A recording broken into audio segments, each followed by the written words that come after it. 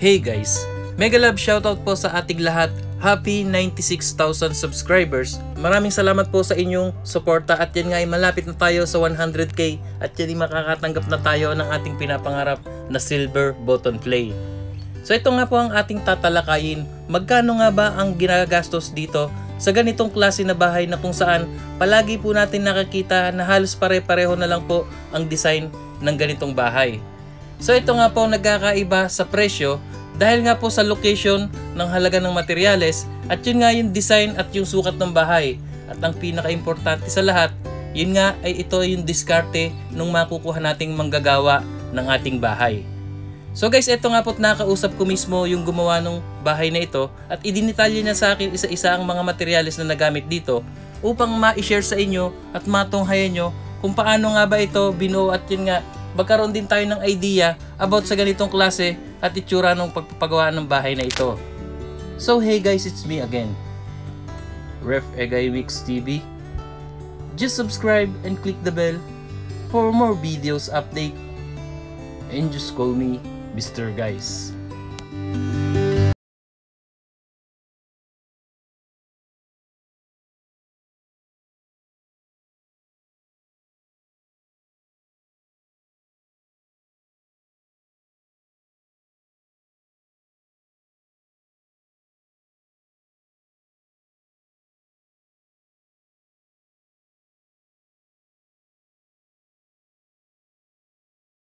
So guys, ito nga po ang ating topic or pag-uusapan ngayon. Magkano nga ba ang nagastos dito sa ganitong klase ng pagpapagawa ng bahay? So guys, ayun nga po't nakikita natin, iba-iba ang klase ng presyo ng bahay pero halos magkakamuka ang itsura nito. So tulad nga po ng sabi natin, ito'y nagkakatalo sa location, sa lugar ng materyales at yan nga ay depende sa lahat at sa diskarte ng inyong makukuhang manggagawa. So guys, ito nga po tulad nito for example, ito pong bahay na ito ay ma-format napakaganda. So kagaya po nung iba'y ganito rin ng style, pero nare-revise lang po ng mga ibang setup. Katulad po nito, ang ginamit po dito sa bubong ay kahoy at yan nga ay ordinary roof lamang. Or I mean corrugated roof. So ito po tatalakayin natin isa-isa ito at kung paano at magkano nga ba ang lahat-lahat ang nagastos dito.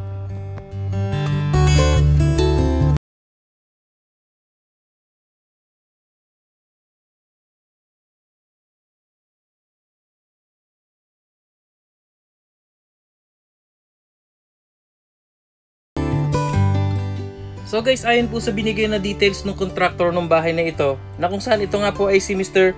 June Villamor. So anya nga ang sukat nito ay 48 square meters.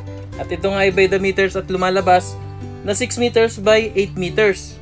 At kinonvert natin ito by the feet at lumalabas po ito na 20 feet by 26 feet.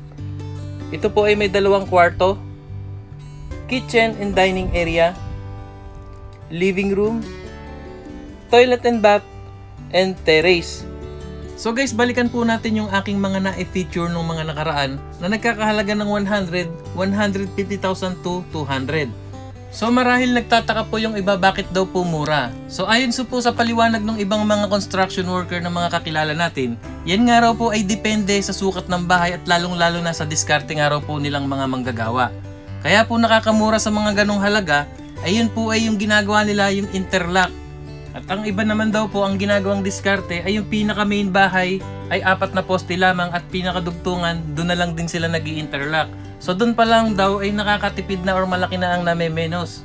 Bukod sa bakal, sa buhos ng buhangin at semento. At pinakamatindi sa lahat ng tipid ay yun nga yung cost ng uh, labor. At dagdag pa nung nakausap natin, anya nga nila ay mas malalaki ang gastos mo kapag lahat ng poste ay inilagyan mo corner to corner kahit yung mga kwarto ay lalagyan mo ang poste talagang mauubos ka dyan. Pero hindi naman talaga naman dapat na lagyan yon dahil nakaipit na raw yon sa bawat corner ng bahay at yun nga ay lalo na't lalagyan mo pa ng biga sa ibabaw kaya okay na okay na raw po yon. At isa pang fact na nakakatipid daw eh yung pinakabiga instead na apat na bakal, pwede naman daw pong lagyan ng dalawa lamang yon na bakal at letter C. So yun ay pampatibay lamang sa taas pagka maglalagay ng bubong at the same time, yung pinaka-purpose niya ay maglalak lamang dun sa pinakabuong bahay. So yun ay depende lamang din po yan sa inyong gusto at yun nga depende rin sa sukat ng bahay. At the same time nga ay kung meron ka raw malaking budget, eh why not na ibuo mo sa tamang procedure at yan ay mas maganda at garantisadong matibay. So guys, yung mga binanggit ko na yan ay isa lamang na halimbawa kung bakit tayo namamahalan na gastos sa ating pagpapagawa ng bahay. So talaga nga namang lahat tayo ay gusto natin na garantisadong matibay, pero kailangan din ay meron tayong budget na matibay. Pero yun nga, yung mga diskarte ng mga construction worker ay iba-iba at sila naman ang nakakaalam niyan kung kaya bang dalhin ito nung kanilang ginagawa or hindi. I mean, ibig ko sabihin, yung kaya ba ng tibay nito na ganun lamang ang gagawin nila or hindi.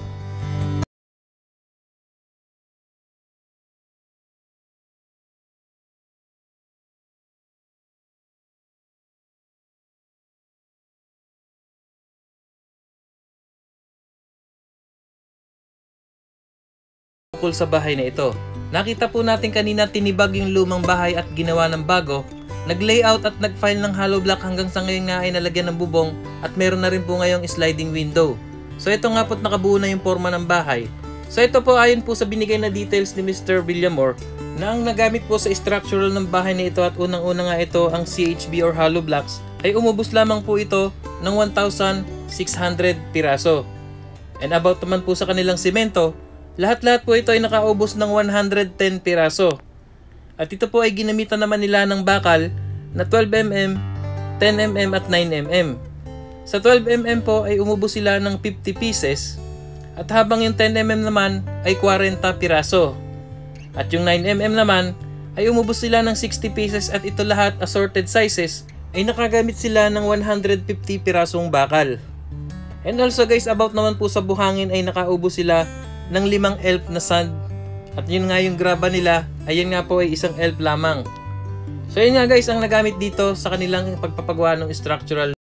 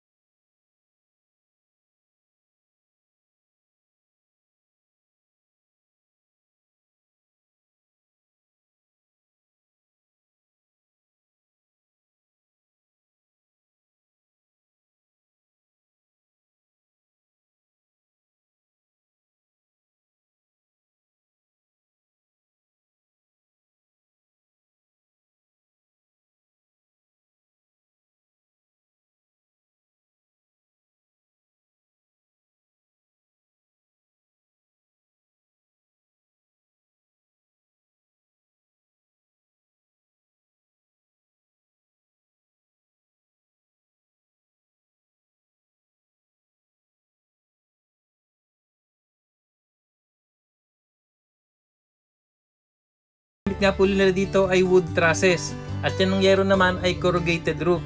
So ito po muna pag-usapan na natin ang mga nagamit sa kahoy. So ayon po sa binigay na details ni Mr. Villamor, na ang sukat po ng kahoy na nagamit ay 2x6 by 16 at ito po ay 6 pieces. At gumamit din po sila dito ng 2x6 by 14 at yan ay 5 piraso at habang ang 2x3 by 16 naman ay 40 piraso. And also guys, yung kanilang fascia board or yung pinakasanipa, yung malapad na kahoy na yan sa harap, at yan po ang sukat niyan ay 1 by 10 by 12. At yan po ay nakagamit sila ng 12 piraso. So yan po ang nagamit sa wood trusses lahat-lahat.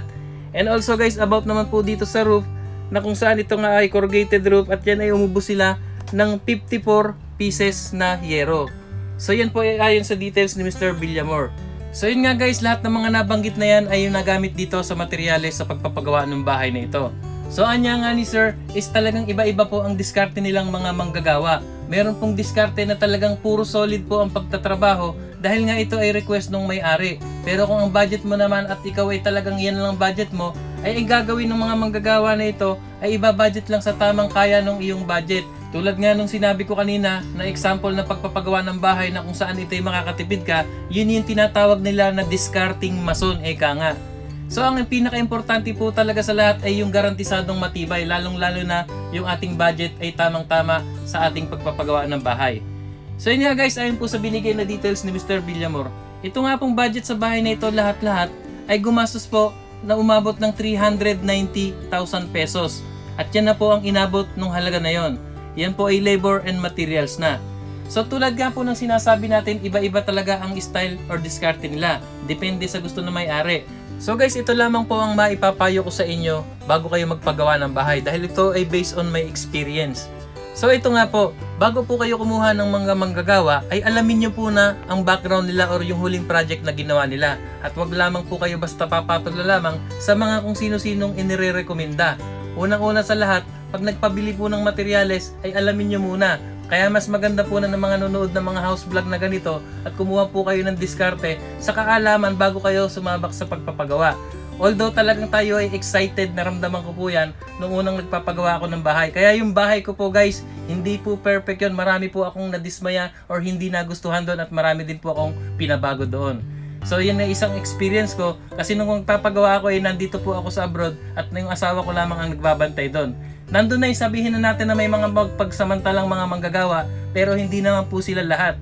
Kaya ito po ang tinitips ko sa inyo yung pagiging excited natin eh minsan eh yan po ang nakakadisgrasya sa ating pagpapagawa ng bahay. Kaya konting ano lang, konting tiis, mas maganda po, pinakamaganda sa lahat ay pag magpapagawa kayo ng bahay, nandun mismo kayo sa gumagawa or sa pinapagawa nyong bahay. Mas mababantayan nyo maigi at makikita nyo kung ano yung ayaw nyo at gusto nyo. At ang pinaka-importante sa lahat, planuhin nyo na kagad kung ano yung tamang igagawa nyo sa bahay nyo. Yung mga sa any suggestion ay yan po ang nakakadagdag sa trabaho at nakakapagpatagal at ang higit sa lahat ay yan din ang nakakadagdag na gastos natin sa ating pagawaing bahay. Yan naman po ang sinasabi kong ito ay hindi naman perfect. So ito lamang po ay isang halimbawa na inihahayag ko sa inyo para magkaroon din po tayo ng idea if ever na magpapagawa na po kayo ng inyong pangarap na bahay. At sa ganun pa man, kayo pa rin po ang masusunod dahil po kayo ang nagpapagawa ng bahay at ang higit sa lahat, ang pinakamaganda po talaga ay garantisadong matibay. So yun nga guys, maraming salamat pong muli sa inyong panonood. Sana ay na-inspired at may natutunan tayo sa vlog na ito, lalong lalo na't na-motivate at kapulutan natin ng aral upang makapagpagawa na rin po tayo ng ating pinapangarap na bahay para sa ating pamilya.